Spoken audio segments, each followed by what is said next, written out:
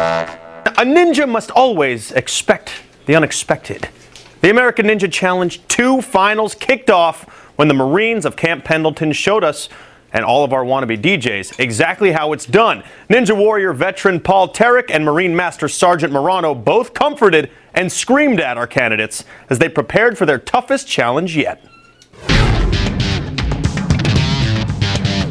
Zach Selwyn here at Camp Pendleton, California, where the world's toughest Marines are made. That being said, there is no better battleground to hold our second ever American Ninja Challenge.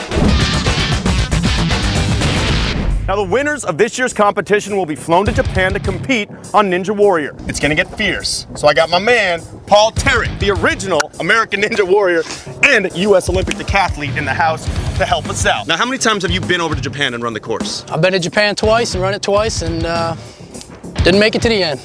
but you did clear a, a, stage, is that correct? Yeah, I made it to the third stage my first time and uh, only made it to the spider jump my second time. That's the tough part. We got a lot of competitors here today.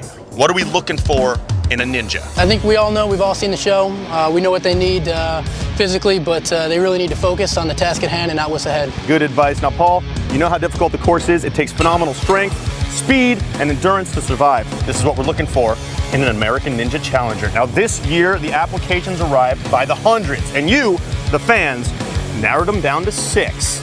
And here they come now.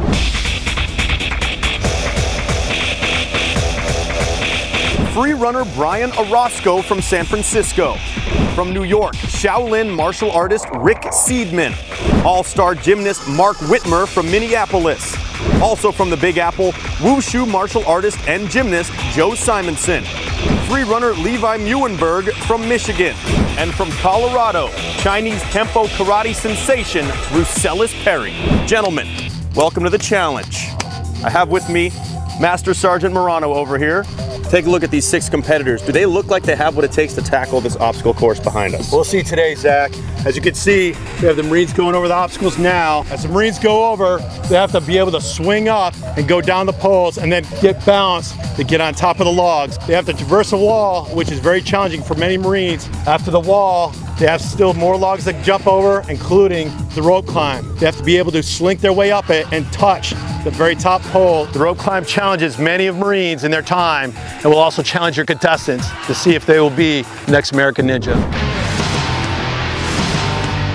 Paul, how does this course stack up to the one in Japan? It, uh, it looks very similar. It's about the same length. It's going to test their endurance to make it through the whole thing, as well as their endurance and their upper body muscles by uh, pulling themselves through the uh, up over all the logs and through all the pipes. Each day, two of our six challengers will go head to head to see who can complete this course the fastest.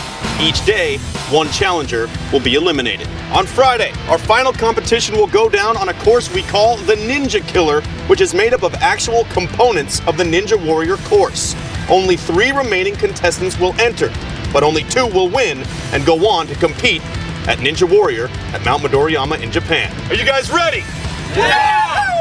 Excellent. Make sure to tune in tomorrow to see how it all unfolds in our second American Ninja Challenge.